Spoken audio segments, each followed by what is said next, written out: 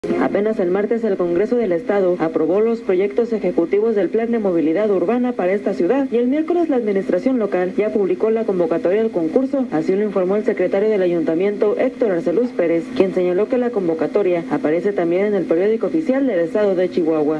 Bueno, el día de ayer el Congreso del Estado aprobó los proyectos ejecutivos que se remitieron y se presentaron en fechas pasadas. Sin lugar a dudas una determinación muy importante para el municipio de Juárez que toma el Congreso del Estado los proyectos ejecutivos se valoraron, se analizaron por parte de la Comisión en el Congreso del Estado y posteriormente el dictamen emitido por ellos fue remitido al Pleno del Congreso del Estado. Ya nosotros el día de hoy publicamos ya la convocatoria en un medio de, en un medio de circulación local y también en el periódico oficial del Estado de Chihuahua.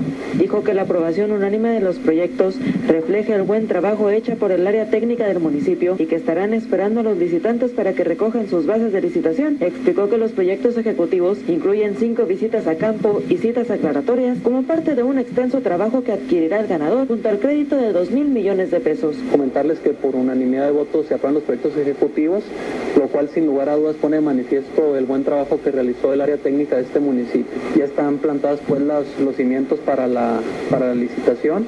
En la propia convocatoria se estipulan visitas de campo, juntas de aclaración, etcétera, hasta llevar a cabo la licitación de este proyecto para Juárez. Sin lugar a dudas un proyecto muy importante importante.